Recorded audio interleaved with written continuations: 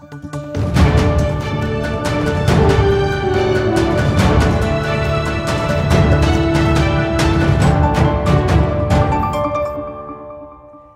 kính chào quý khán giả của Người Việt TV và mời quý vị cùng theo dõi điểm tin buổi sáng. Hôm nay là thứ Bảy ngày 18 tháng 4 năm 2020. Sau đây là một số tin đáng chú ý. Orange County báo cáo bạo hành gia đình gia tăng vì lệnh cách ly kéo dài. Nhà dưỡng lão, huyệt mộ chung sống giới cao niên thời Covid-19. Hơn 100 người biểu tình phản đối lệnh cách ly tại Huntington Beach. Và bây giờ, mời quý vị cùng theo dõi phần tin chi tiết. Các thú vị, Sở Cảnh sát Orange County báo cáo các cuộc gọi liên quan đến bạo hành gia đình gia tăng, trong khi những cuộc gọi cầu cứu ít hơn. Trong cuộc họp báo vào thứ Năm ngày 16 tháng 4, ông Don Barnes, cảnh sát trưởng của Orange County cho biết so với cùng thời kỳ năm ngoái, số cuộc gọi báo cáo về bạo hành gia đình đã tăng 25%, về tranh cãi trong gia đình tăng 24% và tranh chấp quyền nuôi con tăng 30%. Theo tường thuật của nhật báo The Los Angeles Times, cảnh sát trưởng cũng nhận xét là giữa lúc số cuộc gọi đến sở cảnh sát giảm 17% và số cuộc gọi khẩn cấp giảm 36%.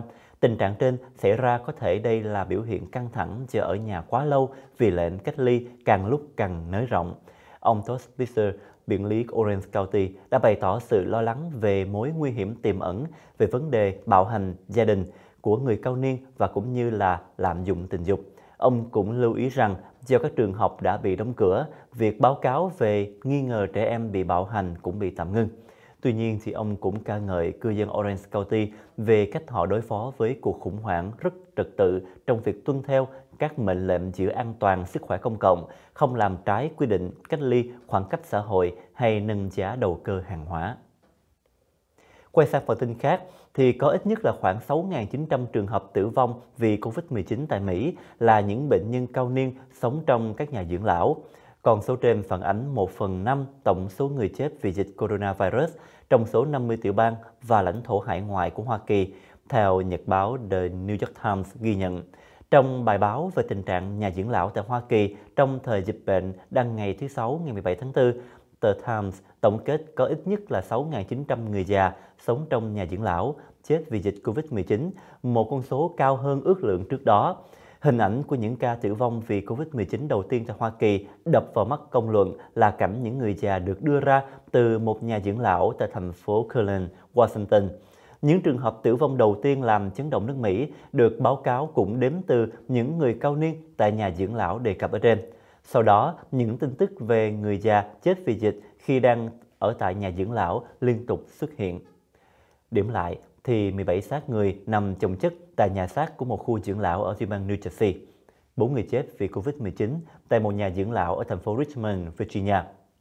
New York báo cáo tên của 72 nhà dưỡng lão có ít nhất là 5 người chết vì Covid-19, tính luôn cả nhà dưỡng lão Couple Hill Health Center tại Brooklyn có đến 55 người già chết.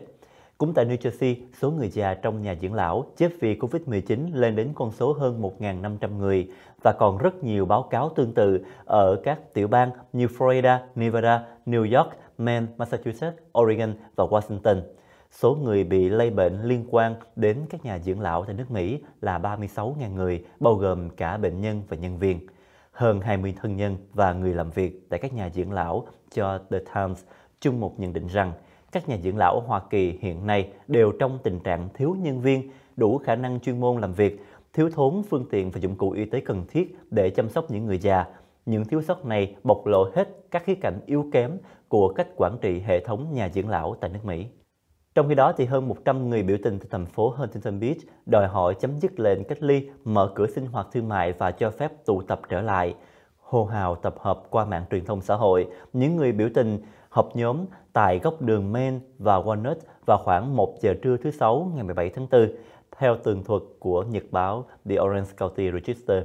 Trong số những người biểu tình này có một số đeo khẩu trang, một số cầm theo biểu ngữ như sống tự do hay là chết và cùng la vang khẩu hiệu USA. Một số người biểu tình đưa ra thông điệp mang tính chính trị hơn như đội nón đỏ Make America Great Again hay cầm theo biểu ngữ mang tên Tổng thống Donald Trump. Một người mặc áo với dòng chữ CDC, tức là Trung tâm Phòng ngừa Bệnh tật, tay cầm biểu ngữ với những mô tả dịch bệnh COVID-19 là dối trá. Một số người biểu thị tiếc nuối sinh hoạt thường nhật bị ngừng lại với khẩu hiệu mang khẩu trang chơi football. Giới chức y tế trong nhóm chống dịch cùng xuất hiện với Tổng thống Trump mỗi ngày trên màn ảnh truyền hình đều kêu gọi áp dụng lệnh cách ly chặt chẽ và lâu dài hơn nếu muốn số người chết giảm thiểu và cơ hội sống gia tăng. Quyết định đóng cửa nước Mỹ suốt tháng 4 vừa đề cập của Tổng thống Trump làm bất ngờ nhiều nhà quan sát khi vài ngày trước đó ông tuyên bố mở cửa vào lễ phục sinh ngày 12 tháng 4. Có lẽ các chuyên gia y tế thuyết phục được Tổng thống khi trưng ra những biểu đồ về bệnh dịch dự đoán nếu không cách ly số người chết có thể tăng đến 200 ngàn. Cảm ơn quý vị đã theo dõi điểm tin buổi sáng với Jimmy. Chúc quý vị sẽ có một ngày an lành và nhiều niềm vui.